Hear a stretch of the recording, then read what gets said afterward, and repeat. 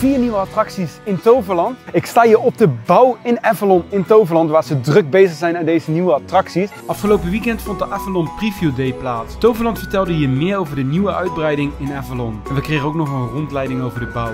We begonnen met een heerlijk ontbijtje, waarna de ontwerper van Toverland vertelde dat ze eerst een vrije valtoren wilden bouwen. Ook was er een idee voor een grote zweefmolen. Toch hebben ze uiteindelijk gekozen voor de vliegtuigmolen Pixaris.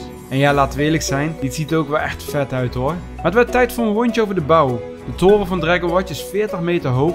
Hier in dit gebouw komt de kinderattractie Jumping Juna. En even verderop komt de rondrit Garden Tour. We zijn ook nog even wezen kijken bij Pixaris. Door een tunnel om de Phoenix loop je via een smalle gang omhoog. Pixaris is een vliegtuigmolen van 27 meter hoog. Ondertussen werd er ook druk doorgewerkt. De vier nieuwe attracties openen dit jaar, maar wanneer precies is nog onbekend. Wil je meer weten over deze uitbreiding? Luister dan nu ook naar aflevering 4 van de Trails podcast. En zorg ervoor dat je mij volgt voor updates over deze nieuwe attractie.